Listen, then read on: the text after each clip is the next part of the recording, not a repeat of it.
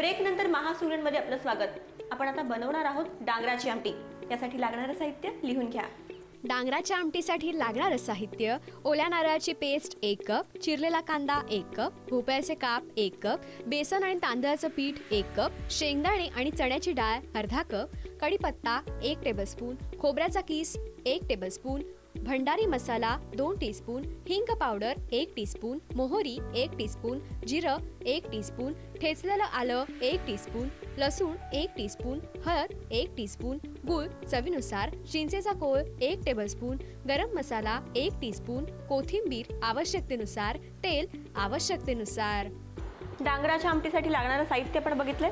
आता ती कशी बनवतात ते बघूया. आपण तेल तापवायला ठेवलेलं आहे. आहे प्रथम याला आपण राई जिरीची फोडणी करायची.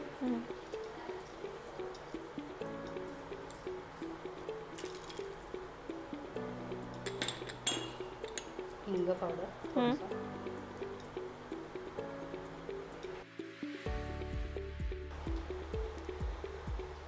जिरे राई कडकडले कडकडले आता आपण त्याच्यामध्ये कढीपत्ता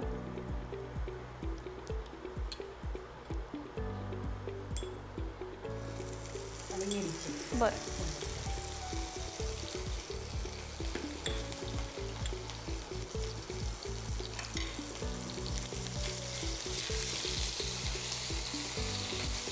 त्याच्यानंतर कांदा घालूया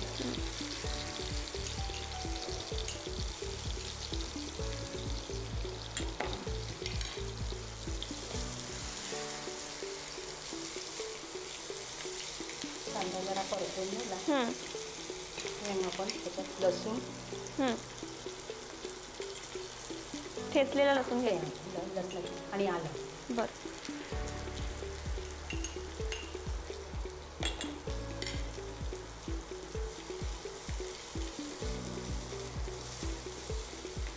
आता आपण हा कांदा आलं लसूण परतून घेत हम्म. त्याच्यानंतर त्याच्यामध्ये आता आपण हळद पावडर हम्म.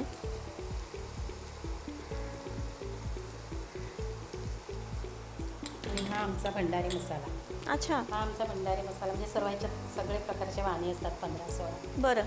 हा भाजीसाठी पण वापरतात. मटणाचा मसाला वेगळा असतो पण हां. हाही वापरला तरी चालतो. अच्छा. पण सर्वसाधारणपणे हाच मसाला आपण वापरतो. बरं.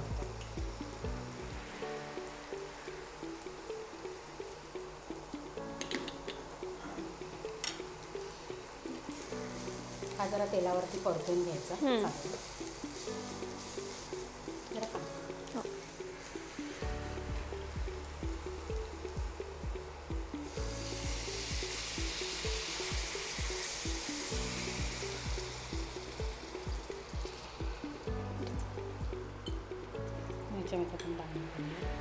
भोपळा घेतला आपण चॉप लाल करून. बरं प्रामुख्याने हीच भाजी वापरली जाते की इतर कोणत्याही भाज्या चालतात? ह्याच्यामध्ये आणखी आम्ही लग्नाच्या हात- हळदीच्या दिवशी रात्रीच्या वेळेला आमचं कोळं कापणं कोळं कापलं जातं. कोळं माहिती- आहे हां. हां. मग ते सुद्धा ह्याच्यामध्ये वापरतात. अच्छा. कोळ आदल्या दिवशी वापरलेलं असतं. दोन्ही मिक्स असतं. बरं. आता ह्याच्यामध्ये मी खोबऱ्याचे काप टाकते. हां हां. आणि हे शेंगदाणे आणि चण्याची डाळ. हे आपण वाफवून घेतले भिजवून घेतले? वाफवून घेतलेली आहे. अच्छा. एरवी म्हणजे लग्नाच्या वेळेला मोठ्या प्रमाणात असतं त्यावेळेला ते त्याच्यात शिजून जातं. बरोबर. आता मी याच्यात मीठ घालून घेते.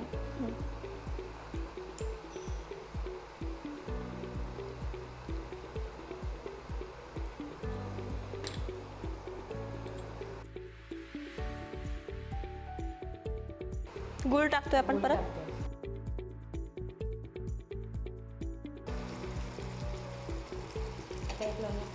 येण्यासाठी त्याच्यावर झाकण ठेवते. हां. झाकण पाच सहा मिनटं. मग नंतर शिजून झालं की त्याच्यामध्ये आपलं हे बेसन आणि तांदळाचं पीठ अच्छा. आणि हे चिंचेचा कोळ काढलेला आहे हां. आणि गरम मसाला घालायचा. बस एवढे तीन जिन्नस झाले की रेडी आणि वरून कोथिंबीर ठीक आहे. वाफ आलेली आहे? वाफ आलेली करूया. शिजत आहे. हे एकदम पातळ पण नसते ना जरा. घट्टसर असते आता आपण याच्यामध्ये नारळ घालून चमचाने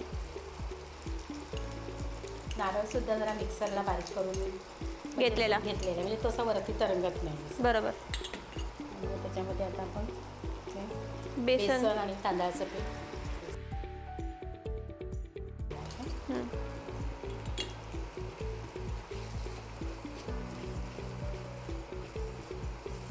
पाणी.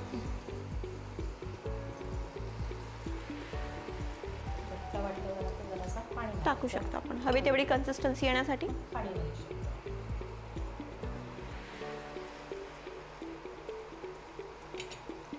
चिंचेचा पोळ घालूया.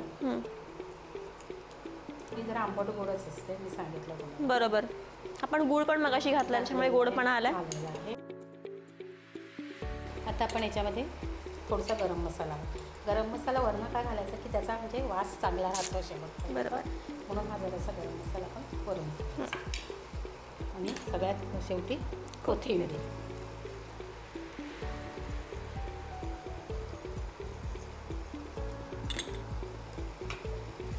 आता आपण त्याच्यात तांदळाचं याचं पीठ घातलेलं आहे. बरोबर. एक वाफ येऊ द्यायची. की आपली भाजी रेडी पाणी मी घालते. थोडंसं.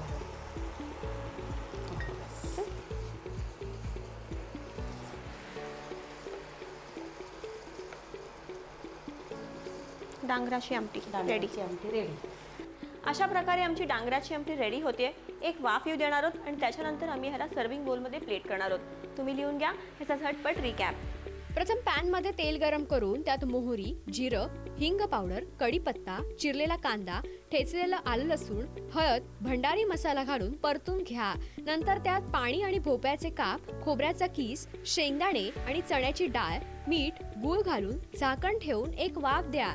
नंतर ओल्या नारळाची पेस्ट बेसन आणि तांदळाचं पीठ चिंचेचा कोळ गरम मसाला कोथिंबीर आणि पाणी घालून एकजीव करा. अशा प्रकारे डांगराची आमटी तयार.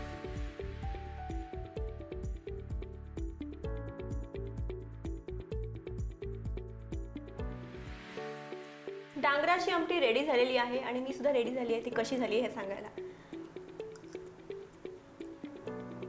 वाव भोपळा सुद्धा हा पदार्थ आपण जनरली सांबरमध्ये किंवा आपण. घारगे करून. खातो. पण हा ट्रेडिशनल पदार्थ आहे भोपळ्याचा. आणि मगाशी तुम्ही उल्लेख केला कोहळा सुद्धा ह्याच्यामध्ये वापरला जातो. वापरला जातो. तर तो सुद्धा आपण ऍड करू शकतो. बरं पारंपरिक पद्धत ही आहे की आपण कोहळा भोपळा याच्यामध्ये ऍड करतो. पण आता एरवी जर आपल्याला सहज म्हणून करायची झाली तर आपल्या आवडीच्या भाज्या पण आपण घालू शकतो. पण ही याच्यामध्ये नॉनव्हेजमध्ये पण करू शकतो. आपण याच्यात चण्याची डाळ आणि शेंगदाणा वापरला ना. त्याच्याऐवजी आपण कोलंबी वापरू शकतो. अरे वा. सगळं तेच मटेरियल फक्त कोलंबी घालायची शेंगदाणा आणि गुळ कमी घाल गुळ घालायचं नाही कोलंबी घातल्यानंतर. सुपर असे. मस्त. पुढचा पदार्थ कोणता असणार? शिरोडे. शिरोडे. शिरोडे.